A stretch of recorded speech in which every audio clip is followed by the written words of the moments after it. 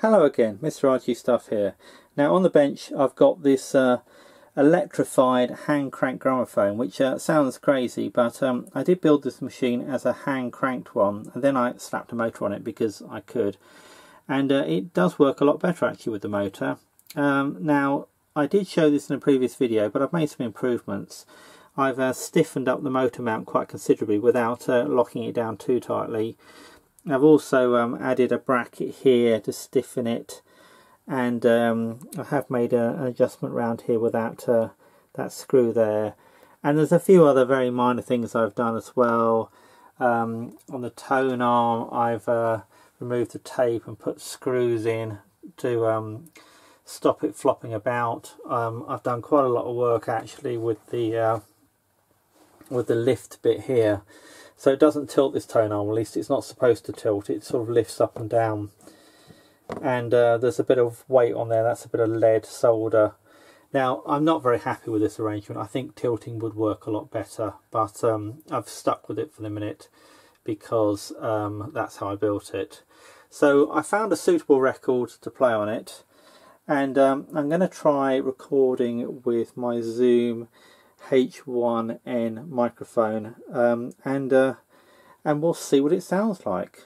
Uh, first of all though I'm going to do a speed test um, so I'm just going to mount up the camera and uh, do that.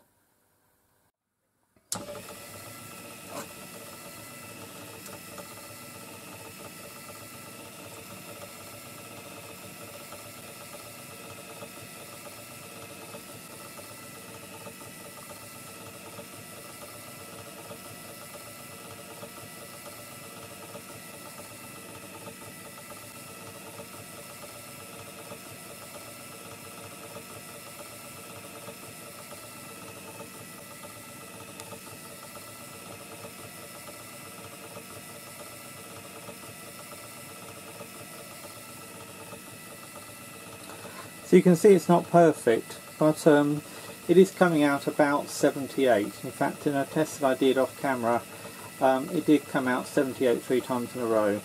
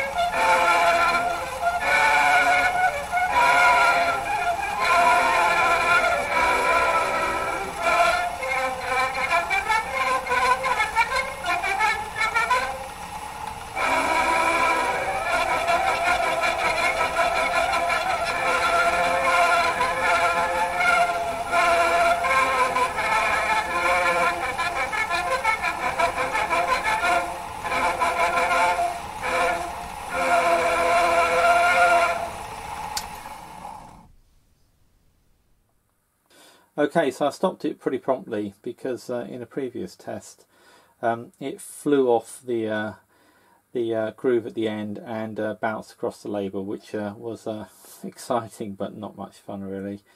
Um, so there we go, um, a record played with this this homebrew gramophone, complete with homebrew soundbox.